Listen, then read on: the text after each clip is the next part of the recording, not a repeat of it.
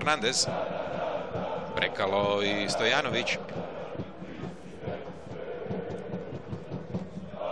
Brekalo i odmah je uspio proći ubačaj u ruke Livakovića. Sada Dinamo je pogodio. Brekalo.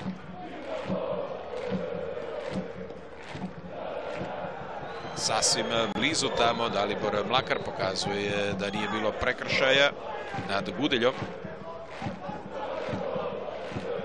Kuglice u polu završnici jasno je da ćemo imati sasvim sigurno jedan veliki, veliki obračun. Brekalo lijepo za juniora Fernandeza. Malo je kasnio sa idejom što želi Šovšić.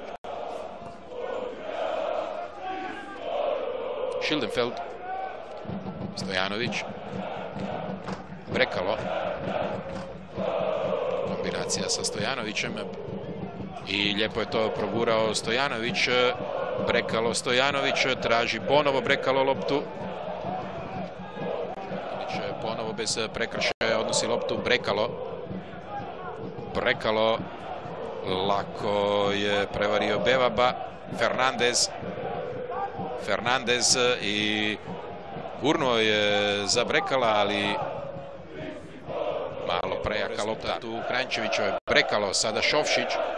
Šovšić lijepo se oslobodio, gleda gdje je Pjaca, Šovšić, Pjaca, Pjaca na rubu kaznenog prostora, htio je otići Pjaca, nije junior Fernandez, Brekalo. I bit će slobodni udarac, to je sada u 92. minuti nova super prilika i nova super reakcija Dominika Livakovića.